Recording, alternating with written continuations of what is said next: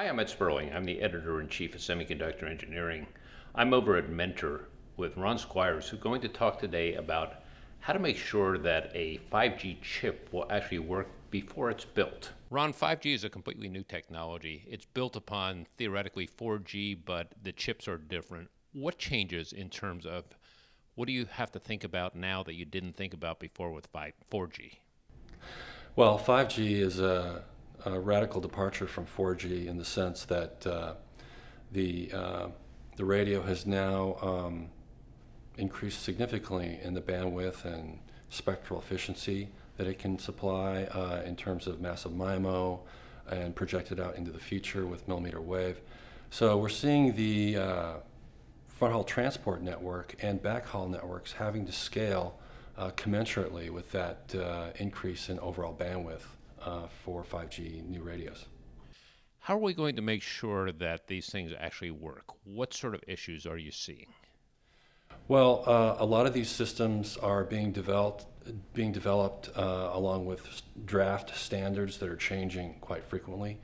Uh, we need to be able to uh, adjust these designs uh, pre-silicon and verify them in a, a very efficient manner.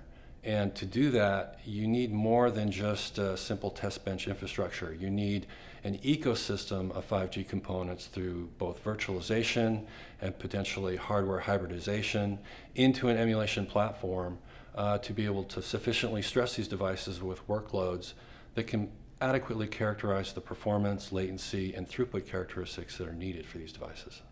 Why don't you draw this out for us? Okay. So, Ron, what are we looking at here? Uh, here we're looking at a uh, typical uh, front haul network for 5G where we have a core network followed by a baseband unit, potentially a radio aggregation unit, and then remote radio units that ultimately connect to antennas that radiate out to user equipment.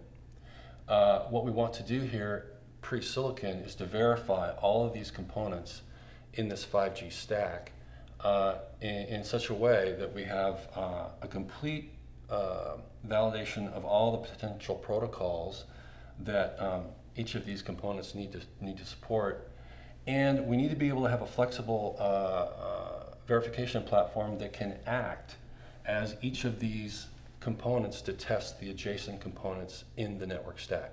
What's different here versus a 4G chip? Well, the difference here within the 4G uh, ecosystem versus a 5G is that, again, the sheer massive volume of data coming back from the uh, 5G new radio has to be accommodated within the front haul network.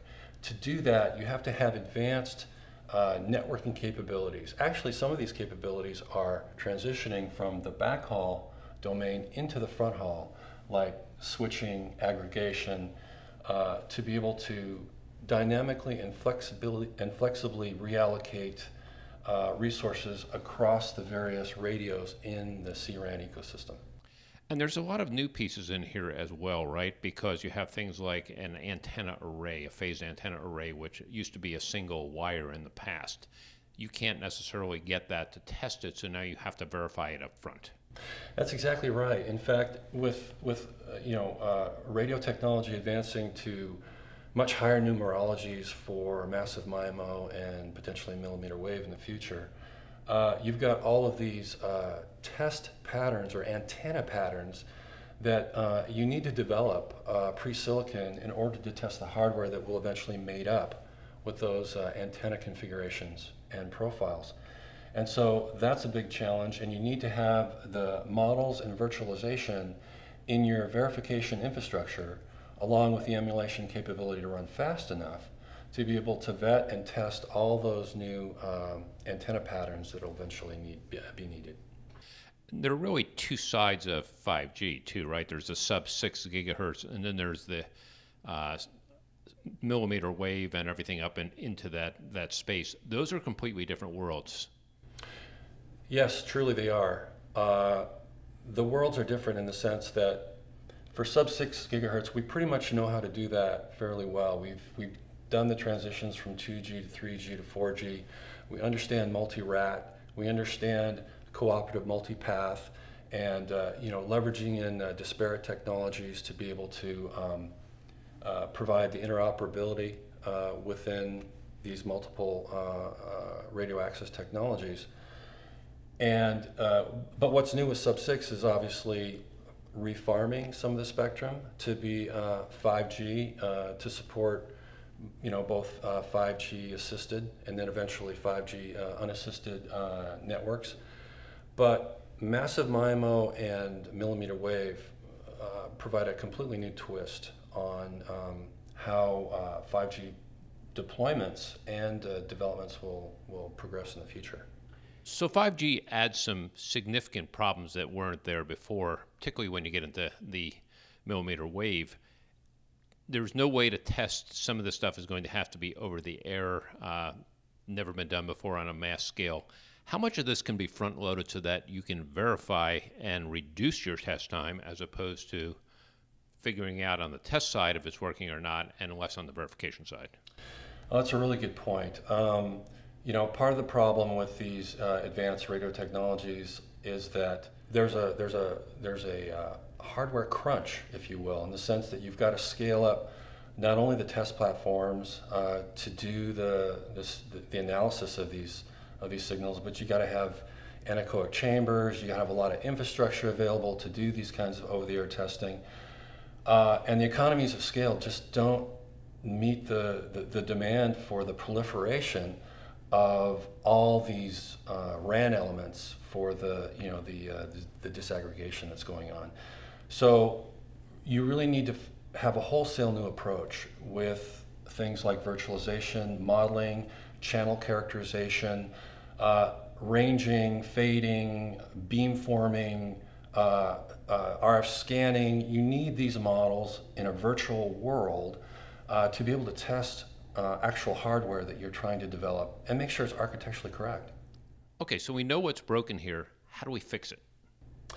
Well, uh, the way the best way Mentor has uh, addressed this issue is to basically come up with uh, a, ver- a, verification paradigm that allows uh, both pre-silicon and post-silicon test uh, such that test cases migrate seamlessly and with zero effort between these two domains. So, for example, you could have a device under test which would be, for example, the radio aggregation unit, which could be a switch for CPRI or eCPRI or any of the technologies that are listed here. And this is the component that you're interested in verifying.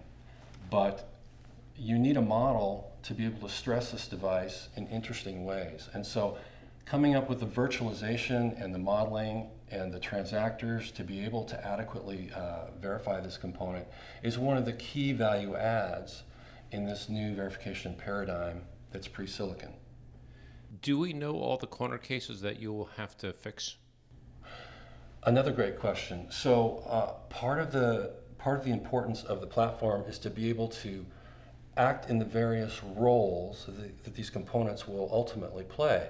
For, so, for example, if you if you have a test platform that can act as an actor or a sniffer or an intruder, in the intruder mode, you can certainly inject delays or the error cases that are interesting from an architectural level, or even the negative testing necessary to be able to stress test the design when conditions occur out of bounds. What you're talking about really is breaking down some of the barriers between what previously existed in verification, right? So now you have to think about front end, back end more holistically than you did in the past with 5G. Well, I know it's an overused term, but, but we talk about this shift left concept at Mentor a great deal. And what we're talking about is being able to pull in the same ecosystem for software and hardware that's traditionally been run in prototyping and on the lab, on the bench, pulling that into pre-silicon and being able to run all the applications and workloads at the core level uh, to be able to stress the devices just like they would be stressed on the bench. Only doing it pre-silicon now and saving millions of dollars in the process in terms of you know, fab outs and, and trials being, having to be redone and even deployments failing. How much of this gets fed back in uh, sort of a closed loop type of system post silicon. So can you take some of the data that you pull out of there and say, oh, this needs to go back further into the the uh, um, verification cycle because we found some problems here that we didn't expect? Well, uh, that's interesting because that's one of the key values that pops out of all of this when you're able to migrate tests between pre-silicon and post-silicon so easily because now when you detect a problem in the field and you're able to reproduce that issue in the laboratory, you can immediately pull that into an emulation environment where you have 100% visibility, 100% fidelity, and you can be solving problems in a matter of hours instead of days uh, that you would normally experience on the bench or even in the field. You've listed a lot of protocols there. Um, as a result of that, do you need more cycles than what you had in the past to test these chips? Uh, absolutely. I mean, the state, the, the state space is exploding uh, for 5G in terms of verification, and you need, you need the verification tools that have been traditionally offered in a pre-silicon environment to keep track of that.